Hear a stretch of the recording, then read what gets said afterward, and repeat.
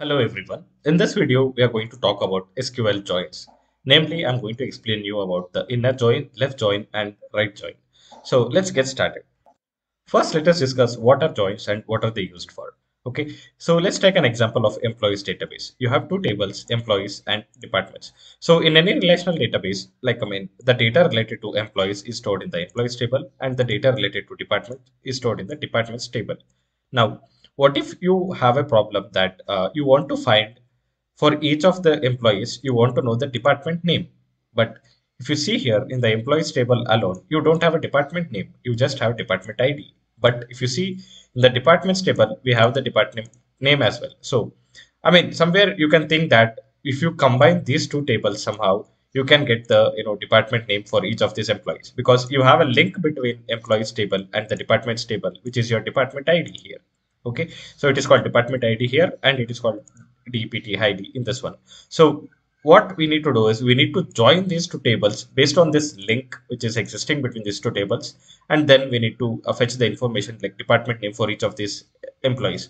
So that is what sql joins uh, are used for. Sql joins are used to basically query two or more tables together.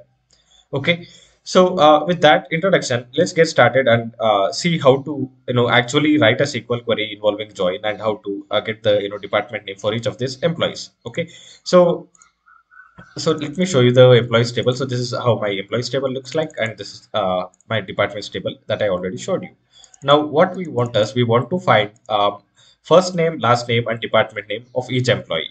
Okay, so let me write a query. So the way to write the query is you write select. Uh, I'll write the column names later from employees, and I'm going to alias this as e, and then I'm going to write the join. So join is the keyword which we are using now. So what we are joining the employees table with which table we need to join with, with the departments table and I will call this D.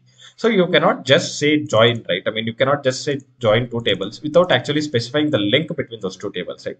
Like I already showed you, the link between these two tables is this column department ID and in the departments table, it is uh, the DPT ID.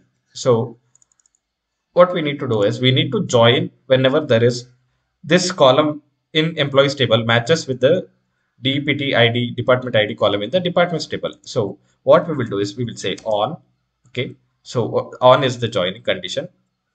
so E dot department ID equal to T dot DEPT ID. So what we are essentially saying is you join the employees table with departments table on this condition basically. So this is the syntax to write. So what columns do you need to select after joining?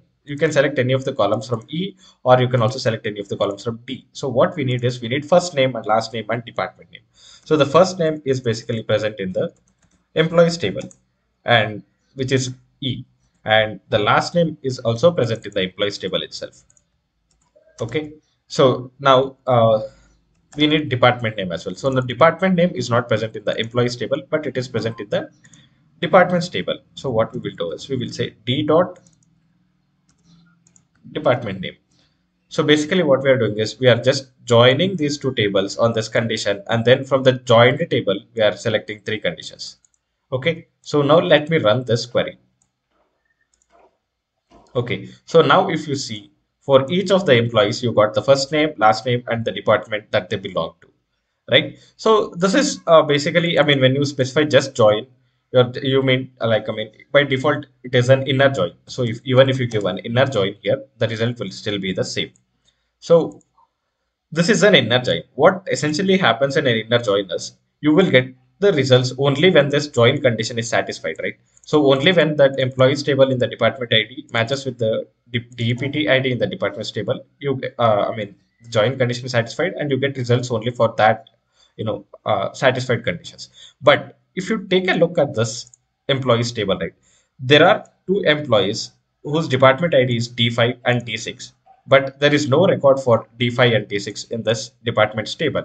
So if you see here, now, I mean, we just got 15 records. We didn't get those uh, two employees, Rahul and Alia, in this results.